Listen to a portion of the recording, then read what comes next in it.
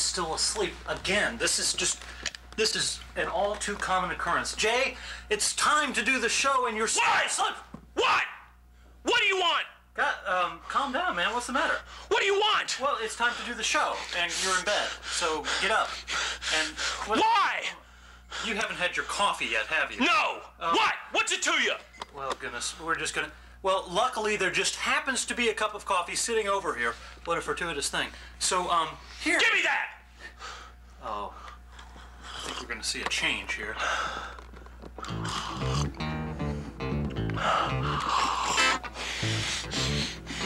Tastes good, huh?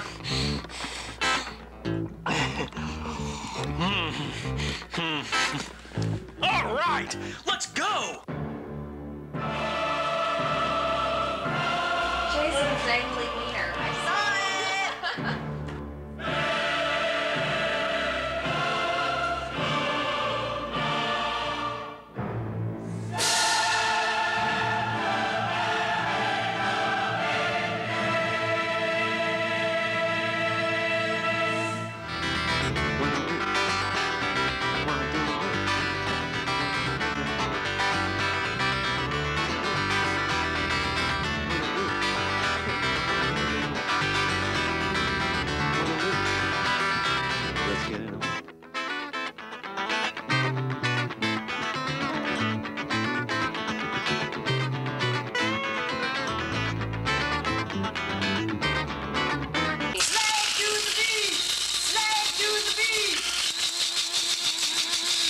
Smell it?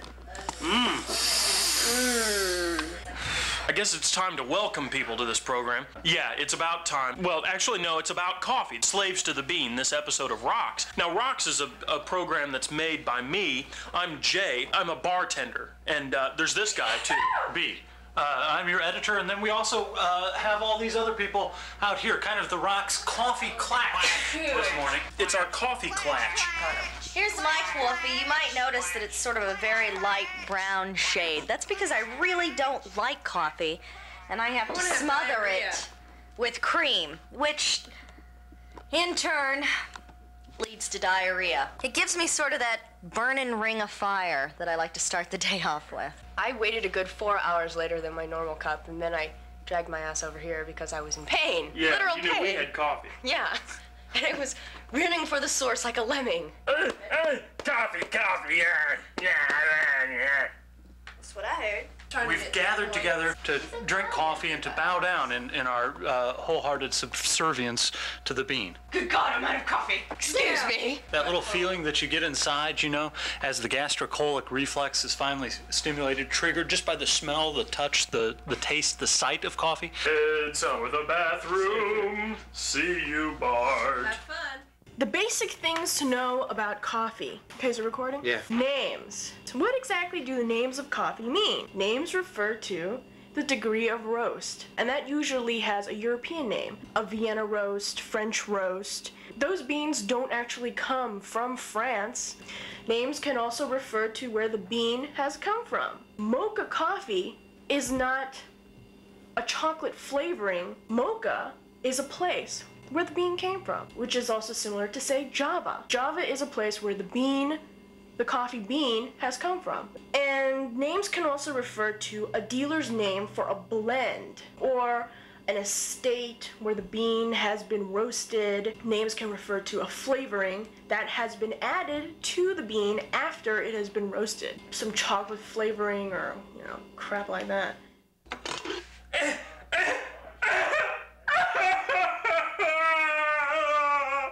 Well, I guess we got to make some more coffee now. I'm grinding my beans right now. We have here natural brown number four cone coffee filters. Because we don't get into that dioxin shit. Yeah, anytime you can use unbleached paper, it's probably a good idea. Bleach, uh, the bleaching process produce, produces as a as a, a byproduct dioxin, which is the most dangerous chemical known to man. Bleached um, copy paper and all of that. Bad stuff. So we've put the uh, coffee um, grounds in here in this little thing, and then you put the uh, the the spigot spout thing over the coffee, so that the water pours in the, into the coffee rather than back into the container from which it's coming. These are the things that uh, that you have to understand if you're going to make coffee. These are the things that dreams are made of. And then you just close the lid, as I have done right here. Turn it on and just fucking wait. I mean, it's just that easy. Wait? Wait, yeah, that's the. have to wait! Yeah. Oh, thanks for picking my nose. I had a big booger in it. Right? um, oh, excuse me. So I seem to be having some kind of an allergy attack. Coffee is a very good um, uh, Thing. thing, and so I'm gonna have some.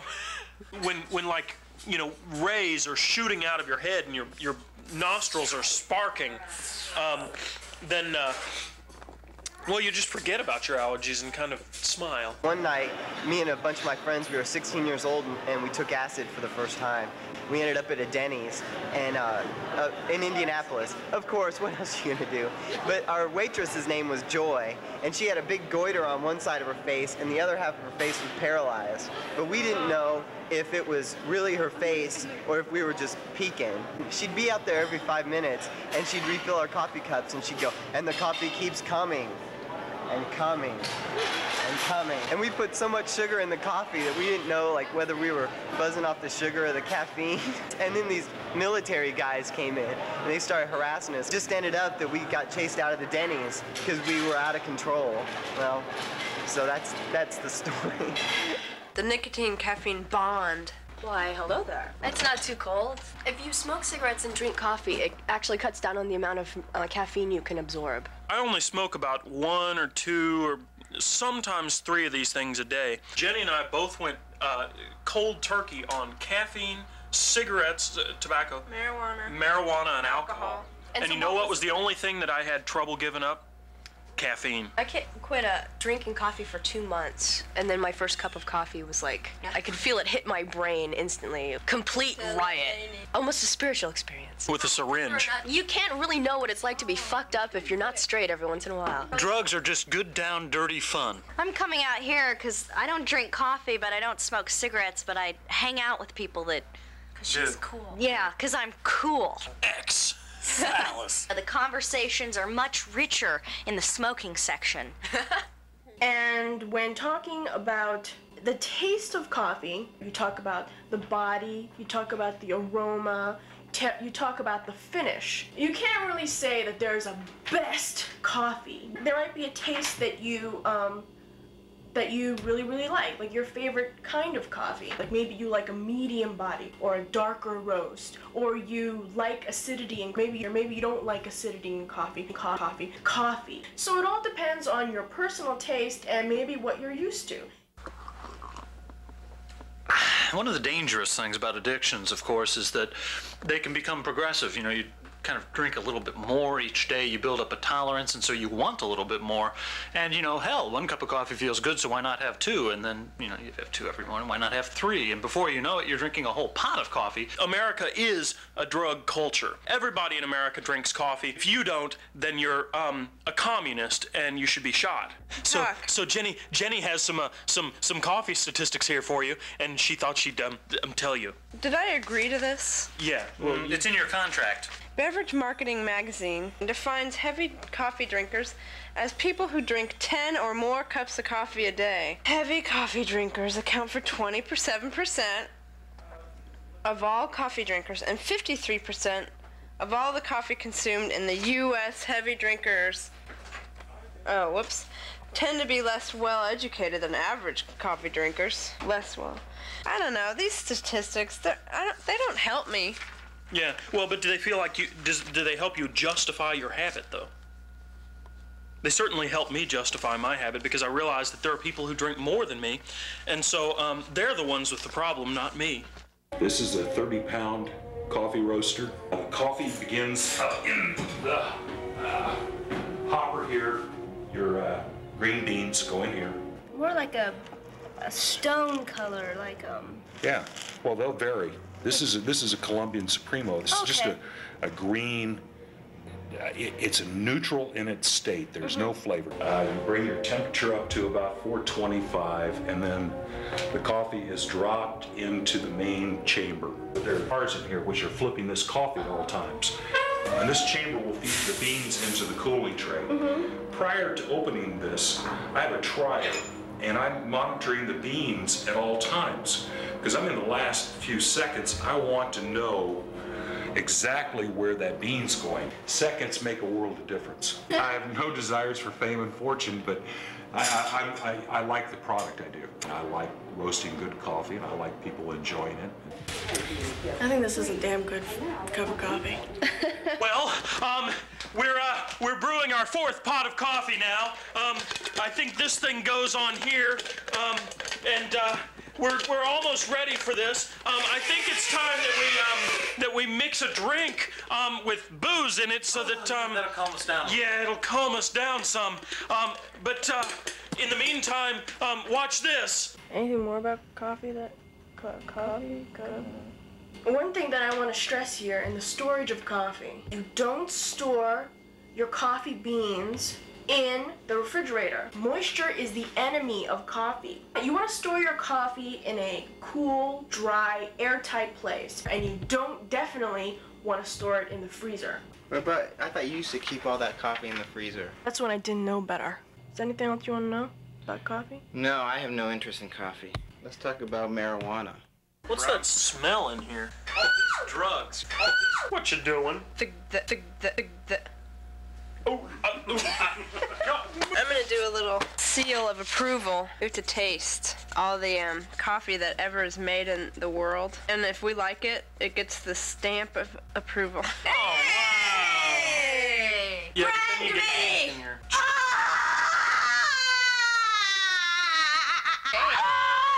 Now I shall drink a bean juice. Bean juice. The transformation is complete. the revenge in my bowels. This is to attribute to the fact that we don't really know what the bean is, what the coffee bean is. It might be a fruit. We're gonna do a purple one here to symbolize the berry. How can we get some of those marijuana berries? We were watching a movie the other night, Reefer Madness. It's a classic, of course, and they referred to the um, the leaves and the berries of the marijuana plant as being what people smoke. The dried leaves and berries are ground up and made into cigarettes by a simple hand machine. And I just want to know where do you get those marijuana berries, and can I have some? Yeah, speaking of reefer madness, we found a, a uh, another video of a very similar sort, didn't we? Uh, well, an old film, actually, back from 1936 or 37, I think. Java Madness. Yeah, it was put out about the same time, similar subject matter, and we thought we'd show you some. So let's roll the tape now. I've got that Java minute. Yeah.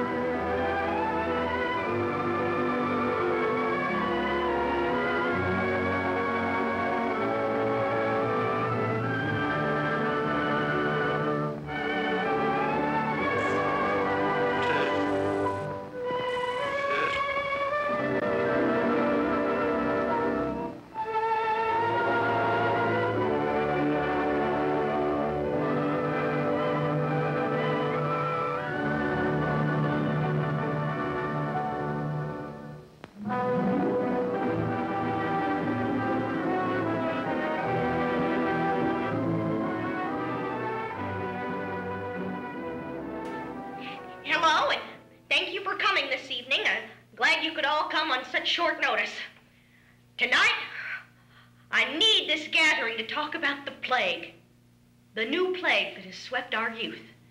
Yes, it is an assassin of our youth. It is Java. You see, they drive this abominable drink by capturing the caffeine from the bean, the coca bean, grown in Latin America, and it's brought up here to the United States to affect our youth. We must stop this madness. The addictive quality found in this caffeine inside of this Java is unrelenting.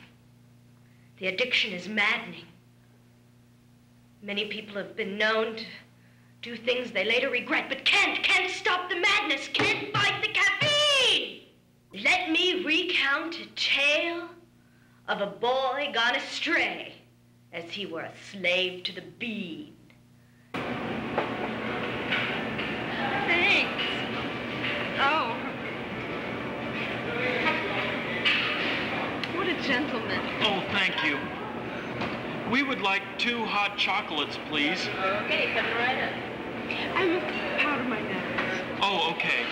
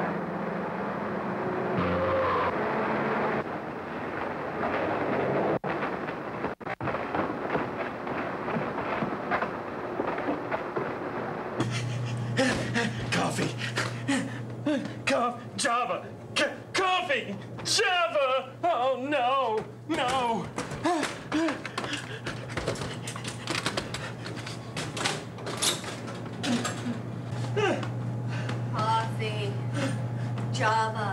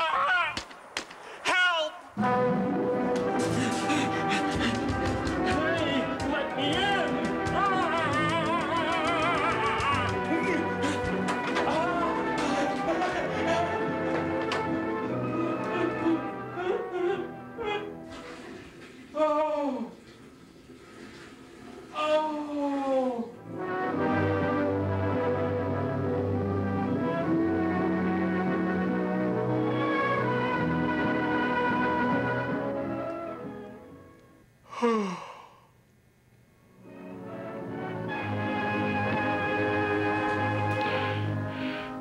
ja- coffee. Uh, Java. Uh, coffee. Oh, Java. Oh. Oh, Giuseppe. What's wrong? What's wrong? It's okay.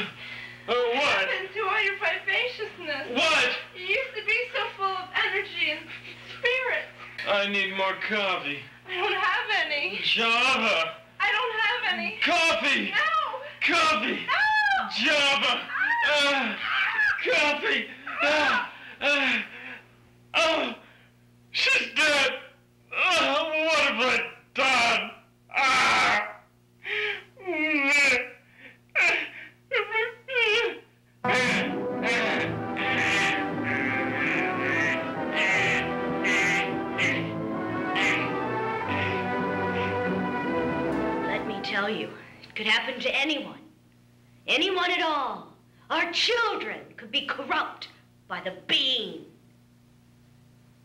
It happen to your child. Or your child. Or even your child.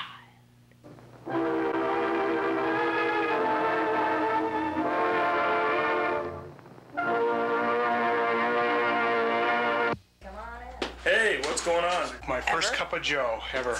I kind of volunteered here to be the lab rat, the guinea pig, as it were, for the ROX crew and their evil experimentation on humankind. Evil, evil. My, my, my, my body is not a temple. My body is a laboratory in some weird science fiction movie. After he has this cup of coffee, we're going to put him behind the wheel of a car and see how he performs.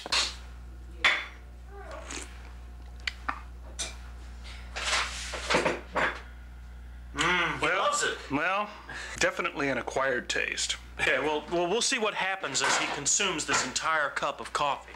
Is it time to drive the car yet? No, you got to finish your cup. We're checking for any kind of quivering or shaking. Well, just. You're faking it. I think the, the coffee rush is definitely starting to come on. Really? Yeah. This is no skit here. Please understand, this is no preconceived comedy sketch. This is reality based television at its very finest. When Here is you it? are, sir. Here's the keys. That's the car. Not only is he on coffee for the first time in his life, he also uh, hasn't driven a car for 15 years. Whoa, shit. okay, that's neutral. I'll put it into drive for you. Okay, yeah. Yeah, it's just like riding a bike. I mean, once you right. learn, you never forget. Right? Okay. Okay. Now is when we get start getting a little bit reckless. Yeah.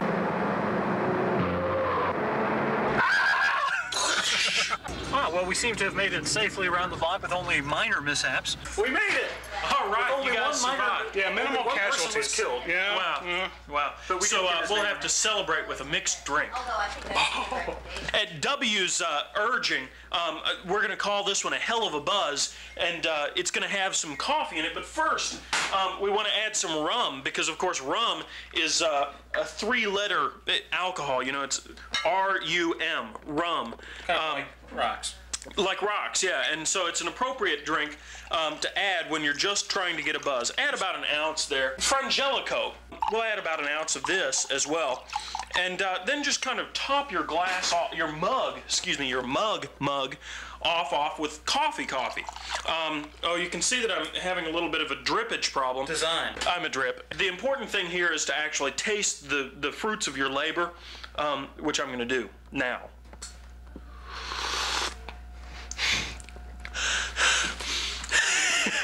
Wow. now that is a hell of a buzz. Next, we'll shoot him in the head. Get the rifle, Joe.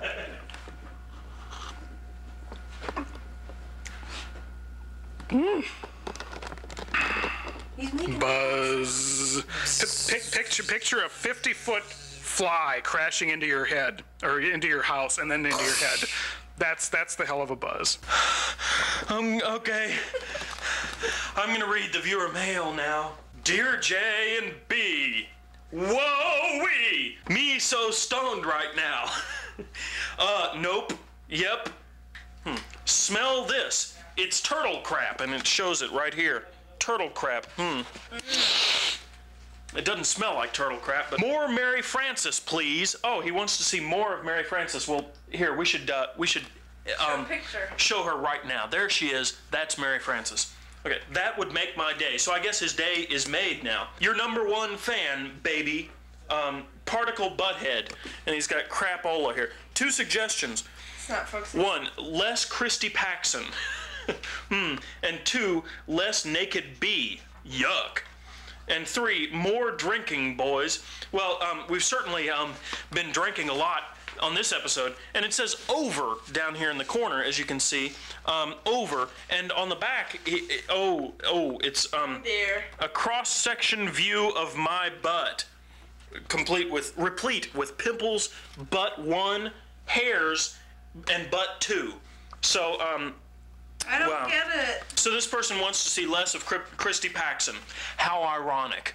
I can't believe Particle Butthead wants less Christy Paxson. I don't think that's going to happen, Particle Butthead. Less Christy Paxson. Well, uh, I've worked my way in this group because I've worked long and I've worked hard. You know why? Because I'm taking over. That's right. That's right. You're going to have to watch me piss. You're going to have to watch me brush my teeth, eat, all this stuff that I love for people to see me doing. I'm doing exactly the reverse of what you want me to do. There's going to be a lot more of me. So get ready, Particle Butthead. In fact, here's a little something just for you. It's just totally Christy. That's right, Particle Butthead. I got more personality in my little pinky than you got in your entire butt. See, Christy wear funny hats. More Christy. I need more Christy. That's right. And glasses. Watch Christy cook and eat. Watch Christy do this. Watch Christy do that. It's totally Christy. Watch Christy pee and take a crap. Staying fit with Christy Paxson. That's right. The only aerobics hostess with armpit hair and a good healthy dose of my ass. Watch Christy eliminate unsightly facial hair. I'm taking my anger out on you, Particle Butthead. I'm a member of your fan club. I just want you to know. Particle Butthead Fan Club. Some old t-shirt that I didn't give a shit about, so. So look out, Particle Butthead. So I guess this brings us to the end of this fine, fine episode of ROX called Slaves to the Bean. Yeah, thanks for tuning in, and well, I I don't know what else to say really. Yeah, except um, thanks, and and uh, we'll see you next time. Um, our hearts are warm and in the right place, and um, and uh, they're beating um, wildly because caffeine is our friend. So see you later. And uh, just remember that even if this didn't have uh, anything to do with anything that you were interested in, next week we'll be doing it all again, but well, it'll be completely different. So Yeah, tune um, in. Yes, next time, same time, same place, um, here on this channel that you're watching right now. Or not. How'd you know?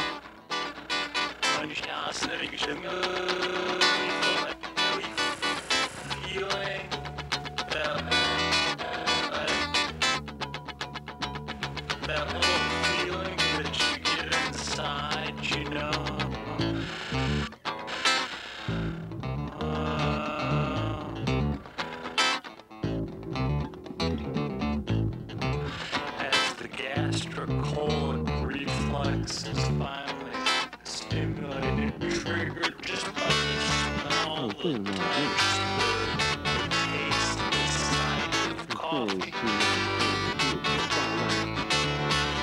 I'm thinking about?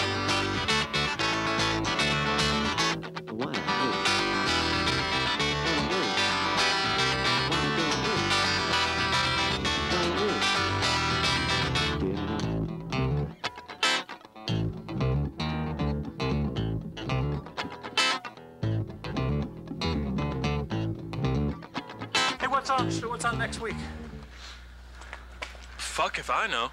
Is it our 75th episode? Our semi sesquicentennial? That's right. Yeah. All right. Well, um, you should tune in next week for that one, um, because it's our 75th anniversary episode, the semi sesquicentennial episode. You'll finally get to see something that you haven't seen um, yet.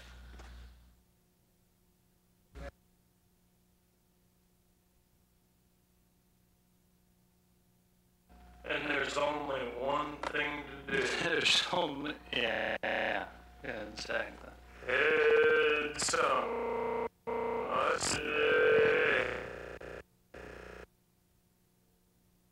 It's on with a bathroom. See you, boss.